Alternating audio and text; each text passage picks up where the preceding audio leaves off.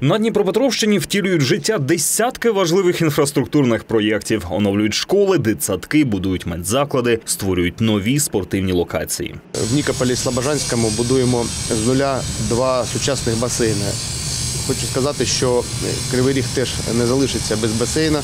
Розпочинаємо е, будівництво з нуля нового сучасного басейну, який буде великий 25 метрів на 5 доріжок для того, щоб щорічно діти і дорослі змогли займатися спортом саме в Кривому Розі. Критий спорткомплекс будують за програмою Велике будівництво. На об'єкті вже стартували підготовчі роботи. Підрядники прибирають територію і риють котлован під будівлю. Новий об'єкт зводять на вулиці Олександра Поля на місці пустиря. Місцевим ініціатива подобається. кажуть, у центральному міському районі басейна раніше не було. Помню, раньше был где-то вот там на Гданцевке, там кирпичный завод был, там где-то был бассейн.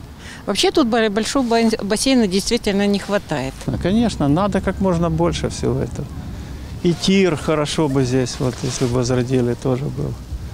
Ну, вот стадион же шикарный сейчас отстраивают. За проєктом всередині спорткомплексу облаштують просторий вестибюль із зоною рецепції, гардеробну, буфет, кімнати персоналу. А ще тренерський роздягальний та тренажерний зал. Родзинкою спорткомплексу стане великий басейн глибиною від 1 до майже 2 метрів. Він буде енергоощадний із системою очищення води. Басейн буде дуже гарний.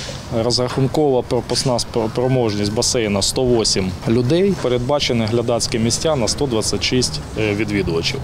Е, Традиційно передбачено проєктом рішення для маломобільних груп населення. Завершити будівництво басейну планують до кінця 2022 року.